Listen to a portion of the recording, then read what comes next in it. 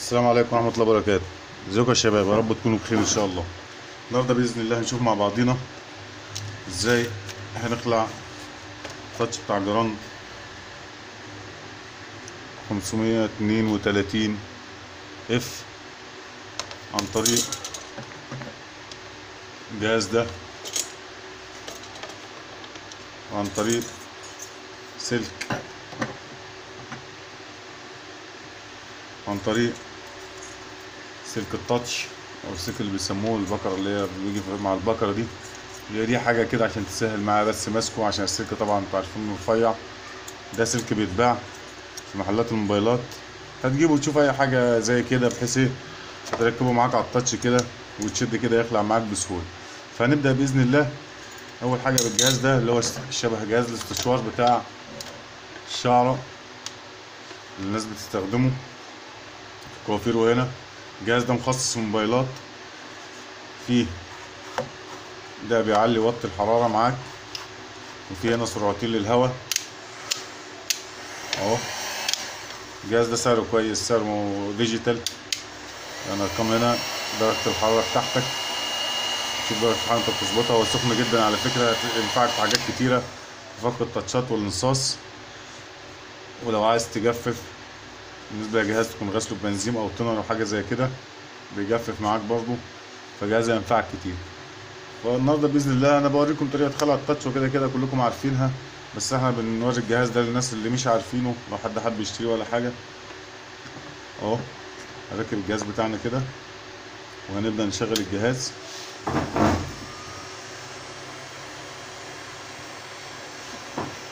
طبعا في حرارة هتظبط الحرارة بتاعتك. درجة حرارة معقولة. وحاول توطيه لأن حرارته بتبقى عالية. وهتبدأ تسيب التليفون كده شوية بس حاول تحركه بحيث الحرارة توزع الجهاز. كده ما حركهم زي ما أنتم شايفين كده. اهو. واحدة واحدة. وهنبدأ نشوف منطقة نفك منها.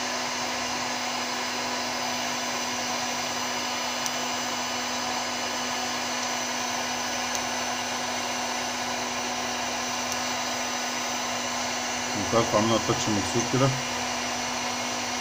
عشان أعرف أدخل السلك بتاعي.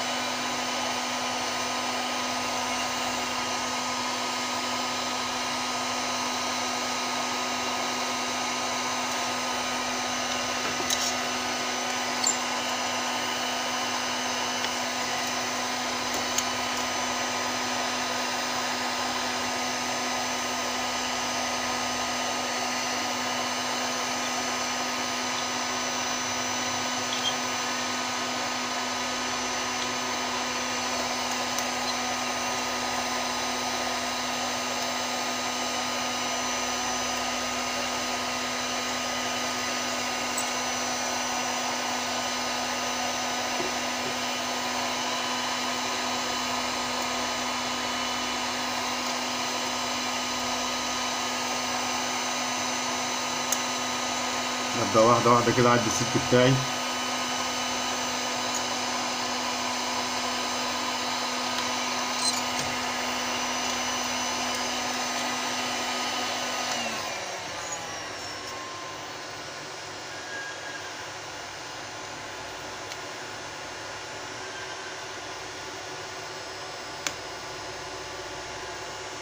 اتاكد من الفلاتات لو في عندك فلاتات تحت ولا حاجة. السلك ده ممكن نقطعها.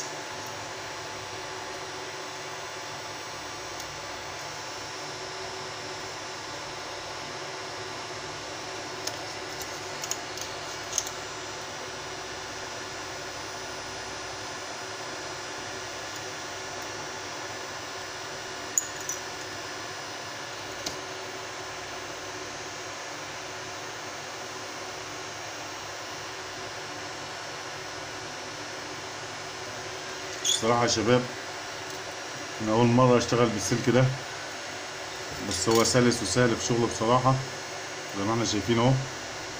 واحدة واحدة معاك كده أهو. أهو.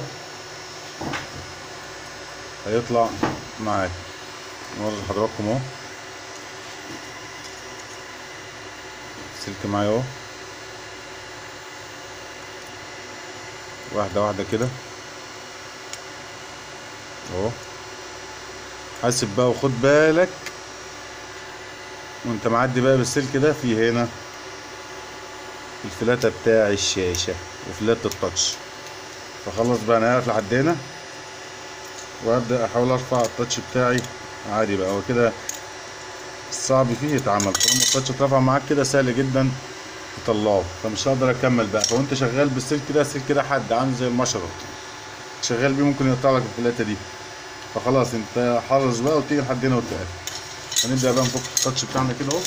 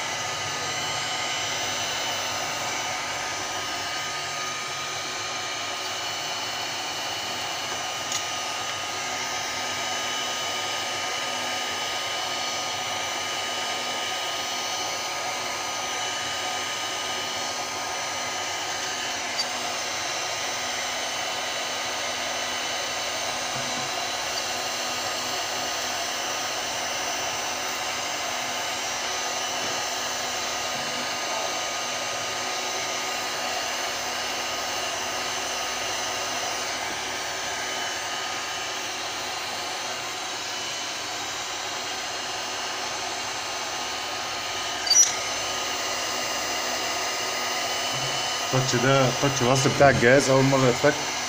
عشان كده في صعوبة شوية في فكه بس هو ابتدى يطلع معايا أهو. وحاول تخلي تركيزك على الأماكن اللي هي فيها لزق.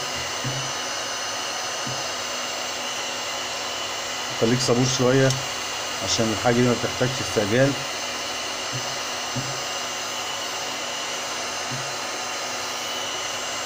والجهاز ده بيطول شوية بس كويس يعني. هيريحك في الشغل. وهيبقى أم- أمان شوية. عن لو خلعت التاتش كده العادي. كده خلاص هنخلص شغل الجهاز. وهنبدأ نرفع التاتش بتاعنا واحدة واحدة كده أهو.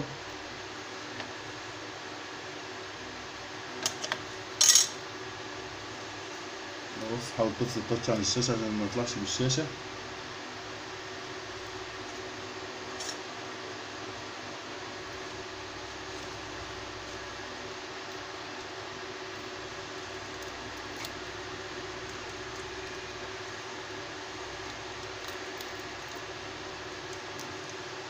وادي يا سيدي التاتش بتاعنا طلع بكل سهولة والشاشة بتاعتنا إن شاء الله هتبقى تمام.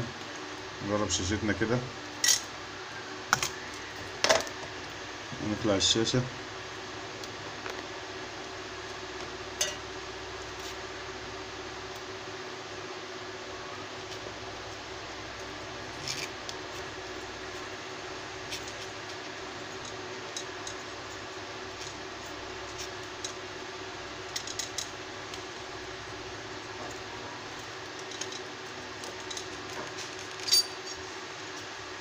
والشاشات دايما أنت بتخلعها يا ريت ما يكونش معاك حاجة حادة. يعني ما يكونش معاك حاجة حادة حاجة طريه زي كده تخلع بيها. حاجة حادة ممكن تكسر منك الشاشة. والتاتش بتاعنا طلع أهو. وشاشتنا اهي نجرب الشاشة بتاعتنا إن شاء الله. تبقى تمام؟ مفيش مشكلة.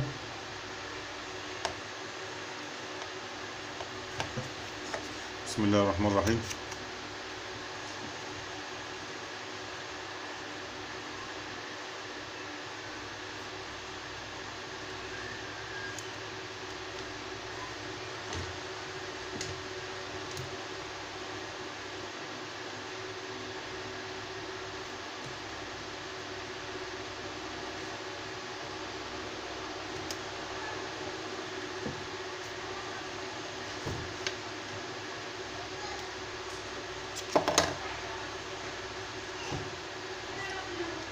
ال power supply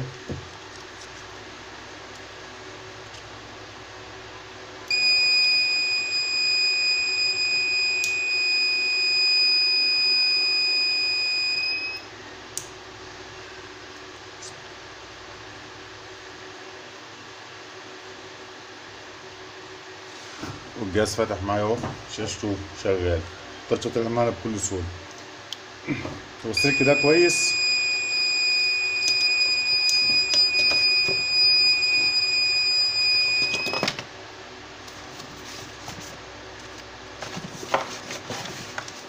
السلك كويس بس فيه مشكلة يعني المشكلة ممكن يقطع معاك فلاتة وده انت معرض له سواء بتستخدم سلك أو بتستخدم حاجة. آه ده السلك اللي هو البكرة بتاع التاتش الناس بتستخدمها فك التاتشات. وانت المفروض انت بتدخل ده كده التاتش وبتشد واحدة واحدة وبتثبت جهازك وتشد واحدة واحدة.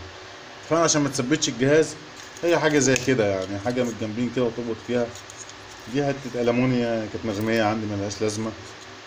عملتها زي المنشار كده زي ما أنتوا حضراتكم شايفين وربطت فيها السلك بحيث اشد تاتشي بكل سهولة مفيش مشكلة والاتنين يبقوا مع بعضين بس دايما تحرص من الفلاتات فلات الشاشة عشان ما تتقطعش منك. وأي حد عنده تعليق أو استفسار اتركوا أسفل الفيديو ويا ريت ما تبخلوش علينا بالاشتراك في القناة. وتفعيل الجرس حتى يصلكم كل جديد. كان معكم محمود أبو دنيا السلام عليكم ورحمة الله وبركاته.